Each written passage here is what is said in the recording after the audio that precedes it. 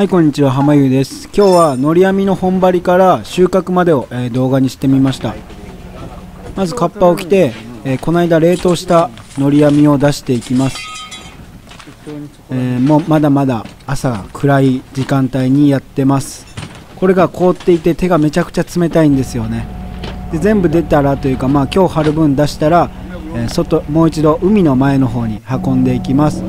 海の前の方に運んだら、えー船にですね親父とかがこう出してきてで僕がそれを解凍していきます。えちなみに解凍するのは、えー真水じゃなくて海水です。真水で解凍すると当然死んでしまいますから。でこのように船の表と後ろにのり網が置けました。のり網が置けたら、えー網をほどいてで本張りの準備を、えー先にしておきます。そしたら沖に向かってレッツゴーです。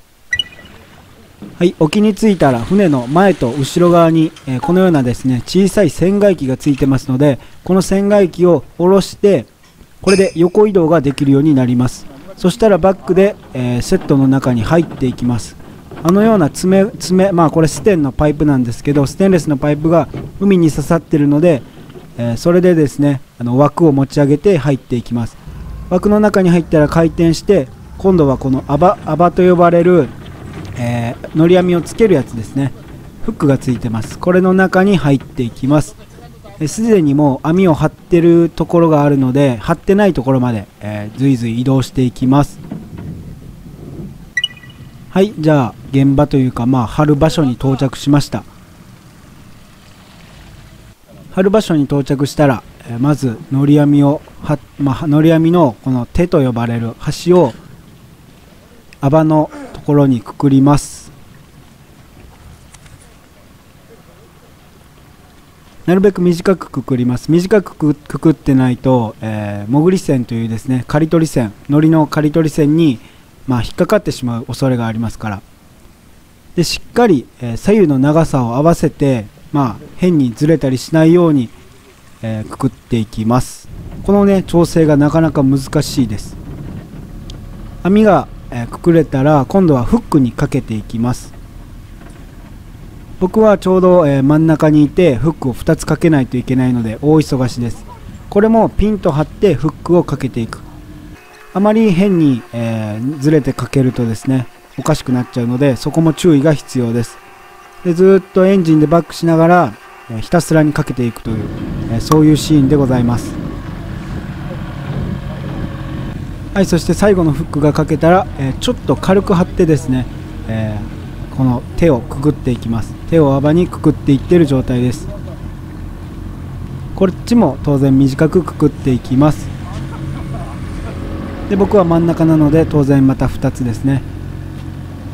これも、えーほどけるようにそして、えー刈り取り中などはほどけないようにしっかりくくっていきます。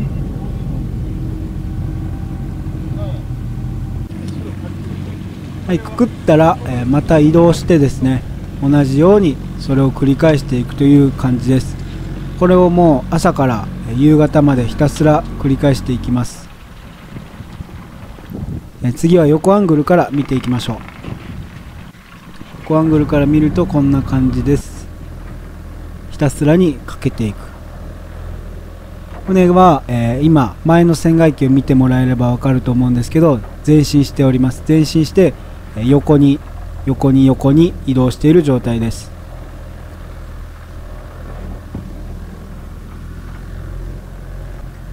で大勢でひたすらフックをかけてでまた同じようにこののり網の手をくくってですね。で移動してみたいな感じです。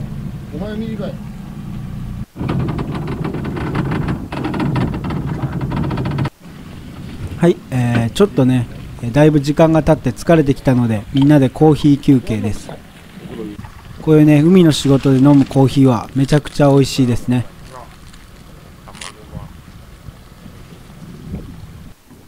でバームクーヘンも最高でした。はいじゃあ残りも少なくなってきました。だいぶ天気も明るくなってお昼が近づいてきました、えー全部やれたので、えー帰ります。これは全部海苔の赤ちゃんですね、てきましたあだらちゃん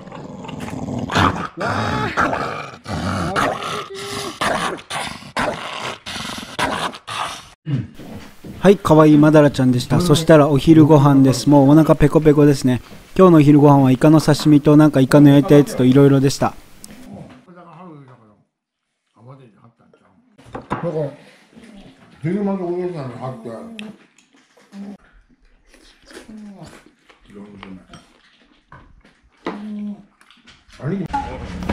はい、体力仕事の後のお昼ご飯は本当に最高でしたね。えーそしたら昼からも同じように網を積んで、溶かしてのを繰り返してまたやっていきます。えーご飯を食べるとものすごく眠たくなって昼から行くのはすごい嫌ですね。できれば昼からは行きたくないものですがこれを3日ほど、えー繰り返して3日4日かな？4日ぐらいしてようやく全部晴れるといった状況ですはい、えー今日が終わりました。帰ります。これは貼ってから1週間ぐらいだと思います。ちょっとずつ伸びてきてます。はいさらに1週間ほど経ちました。いきなり刈り取りシーンで申し訳ないのですが仕事をしながらなのでご了承くださいませ、えー運転は兄貴がしております。僕も運転できるんですが僕の仕事は、えー、のり網のゴミを取ったりあのり網にガラモという海藻がつくのでそのゴミを取ったり、えーします。えこれがですね、え刈り取りの、まあ、三味線と呼ばれるやつなんですけど、えーコマの関係でめっちゃ遅く見えますがこれめちゃくちゃ速くて、え巻かれると危ないです。僕はあのさっきの回転部分に、えーカッパを巻かれたことがありまして一瞬で破けました。で太ももに大きなあざができてとても痛かったです。で船が回転したら、えーま前にですね爪と呼ばれる、まあ、ステンのパイプがあるので、えそのおかげでこう入っていけます。のり網の下に入っていきます。えのり網の下を潜っていくので潜り船と呼ばれています。え僕のもう一つの仕事がですね脅し網と呼ばれる魚を脅すための網をえ避けていく作業というかまあ監視作業ですね。今その網がちょっと上に乗ってたのであ挟まってますね。挟まってるので外します。これがね、ちょっとは魚の、まあ、食害と呼ばれてですねあの魚が最近海苔をすごく食べるんですよ。そのせいで見てください。全然ね、えー本来の伸びしてなくて、えーとても短い状態での狩りな狩りに、えなってしまったのですが、まあ、あんな感じでずっとですね三味線の上をのり網が滑っていく。そしてのりが枯れていくといった状況です。はい、えーどんどんどんどん、買っていきます。この作業もねひたすら、朝からお昼まで遅い時にはお昼過ぎまでやっていくので、とても飽きます。ずっと単純作業を同じように繰り返していくのでで今の海藻がガラモですね。で今日はもうベタなぎなので、撮影には最高でした。とっても美しい小豆島です。こんな感じです。でここはずっとねもうあののり網の下なので雨みたいに、えー水滴が降ってきてですねとっても鬱陶しいです。でかかってしまった、えー脅し網を僕が外してまあそういうね仕事をしております。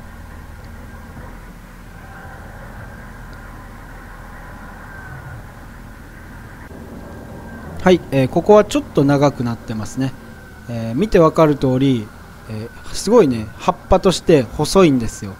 1番のりは、えー細くて2番のり3番のりと、えー番数を重ねるごとに、え刃がどんどん広くなっていきます。その代わりのりもちょっと硬くなって、まあ、香りもなくなりつつあと色も悪くなります。のりは黒いほどいいんですけどえのりの色がどんどんどんどんあの緑緑というかまあ薄くなって、まあ、最終的にはもうあの金色みたいになるんですけどで海苔は1番海苔2番海苔3番海苔ってあの今こう買ってると思うんですけどまあ買ってで次また伸びてくるんですよ。海苔があのネギみたいな感じで。で伸びてきたやつを次買ったら2番海苔。で次また買ったら3番海苔っていう感じで。初摘み海苔ってよく皆さん聞くと思うんですけど初摘み海苔は、1番海苔のことです。はい1列が終わりました、えじゃあですね、セットの外に出ていきます。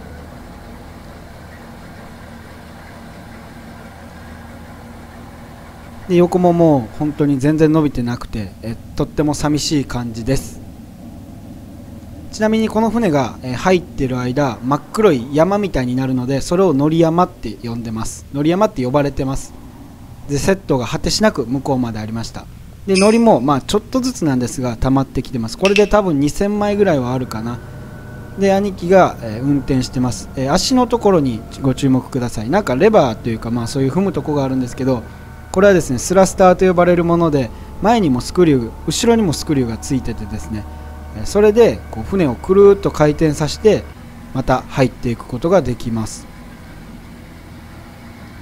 で同じようにまた中に入っていくという感じです。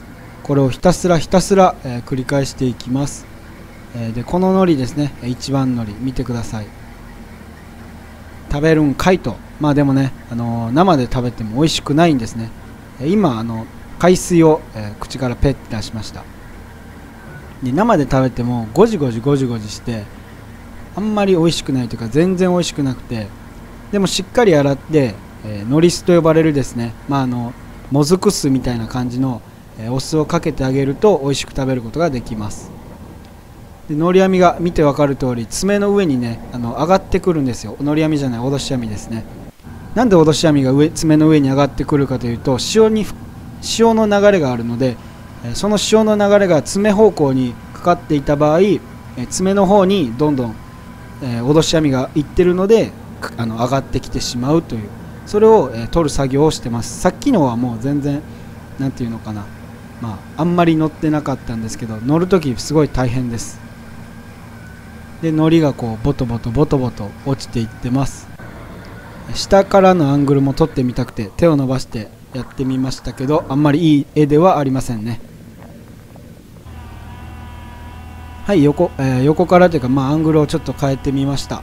このように船の横をずっと脅し網がザーっていってる感じです。で脅し網がないとこ行くとほとんどすることがないので、えー船の中で、えーいることもあります。ただあのゴミが多い時はもうずっと船の外にいてやってます。はいじゃあ乗り網があまだだった。ごめんなさい。はい、えーちょっと遊んでた感じですね。で刈り取り終わりました。で海苔の刈り取りが終わったらまず船の掃除を始めます。船の周りとかまあそういうとこをホースでホースで水で洗います。で前の方に落ちているその葉っぱとか、えーゴミを取っていきます。ゴミ取り機というものがあってそこである程度は取ってくれるんですけど、先にこうしっかり、取っておいた方がいいですね。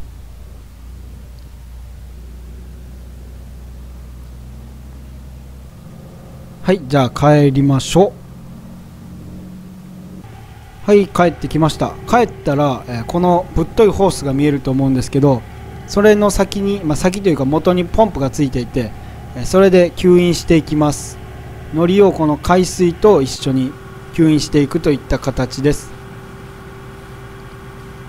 あんまり海水を与えないと今度逆に詰まったりします、えこんな感じのこれが、え生海苔の状態ですね。まるでもう海苔の佃煮みたいです。見た感じはとっても美味しそうに見えます。でこのホースから、えこのポンプ。でポンプを通ってまたホース。でずーっとホースがあってでホースがまた続いてます。でこのホースがどこに向かっているかというとずっと倉庫の方まで、えー伝ってきてでこちらのタンクですね。これ海苔のタンクです、えー右の絵は下手くそですが 僕が暇な時に描きました。でタンクの中にこう海苔がずっとこう出ているという形でしょうか。でひたすら、えー攪拌しています。これはもう24時間というかこのタンクにある間ずっと攪拌しています。えそうすることで、まあ、僕の予想なんですが多分酸素を取り込む取り込んで海苔が死なないようにしてるんじゃないかなと思います。海苔もやっぱ生ものですから、えー当然長く置いてると鮮度が悪くなると思います。で海苔も残り少なくなってきました。こういう感じでジューッとジューって吸ってます。一番海苔は柔らかいからいいんですけど、番数重ねて硬くなっていくと、よく詰まるんですよね。それがすごい大変です。はい、えー、海苔がもうなくなりました。海苔がなくなったようなので、え次はポンプを止めてホースを抜きます。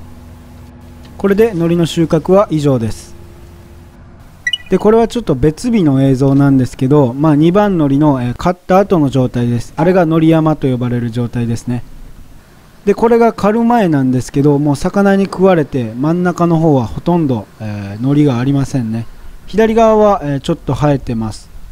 この海苔がたくさん生えて、えー目この目というんですか網の網と網の間の目が見えなくなったらかなり伸びてきているという状態です、えーせっかくなんで水中映像も撮りたいと思います。撮ろうと思ったところ手袋履いてないことに気がついたので、えー手袋を履きます。僕は末端冷え性なので手袋を履かないと、えー手がすぐかじかんで動かなくなります。こんな感じです。っごい、えーなびいてます。僕自身水中映像に興味があったので今回撮れてすごい良かったです。ただ下からのアングルでも撮りたいなと思ったので、えー仕方なくもう手袋を取って、まあ、頑張ることにしました。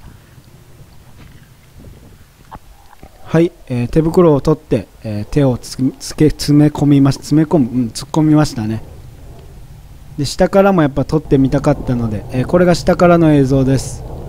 まだまだ2番の、えー、2番のりなんですがまだまだ、えー、海苔の刃の幅は細いですね。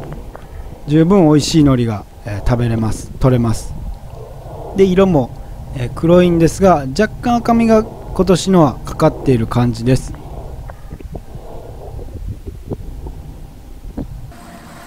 はい、えー、買ってるシーンも見てみます。だいぶ伸びてきてますね。